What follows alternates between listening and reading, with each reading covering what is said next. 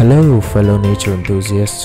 Today, buckle up for an immersive journey through the spellbinding Bandaje Trek in Karnataka. Get ready for a day filled with surprises as we traverse through this breathtaking trail that unveils the secrets of Western Ghats.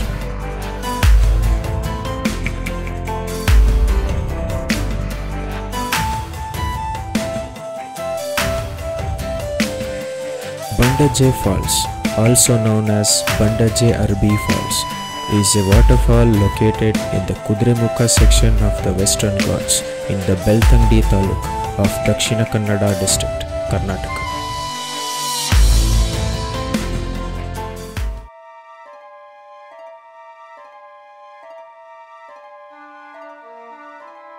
Our grand adventure commences at the trailhead, where excitement lingers in the air.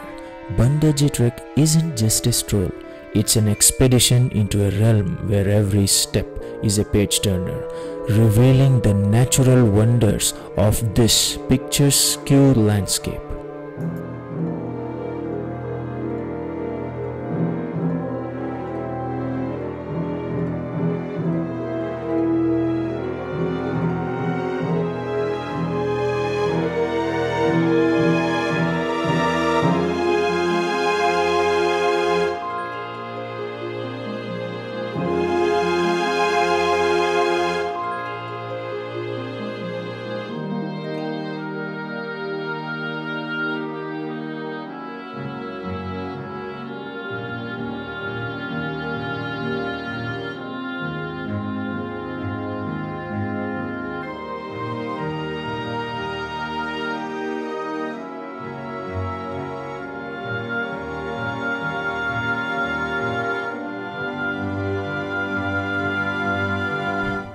Walking deeper into the forest is like being in a wonderland. Big trees create shady spots and the colors look even more vibrant. Birds are singing happily, making it a perfect sunny adventure. Where the beauty of each moment is etched in the canvas of our memories.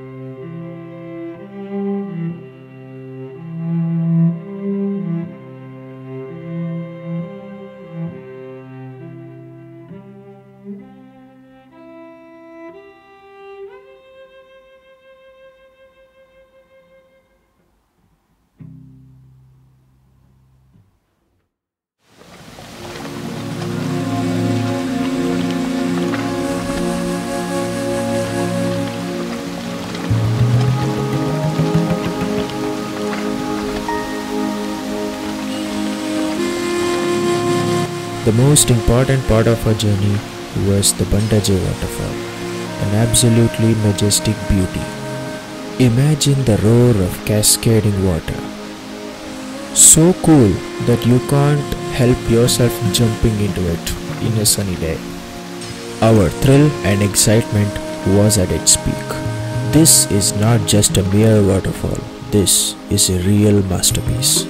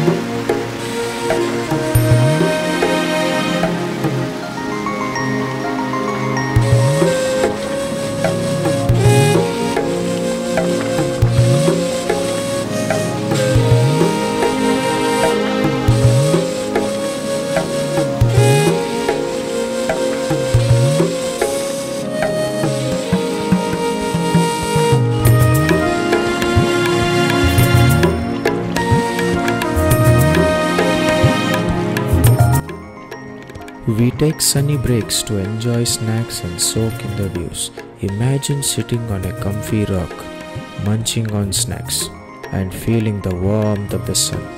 Bandeje Trek is not just walking, it's having a sunny picnic in the nature.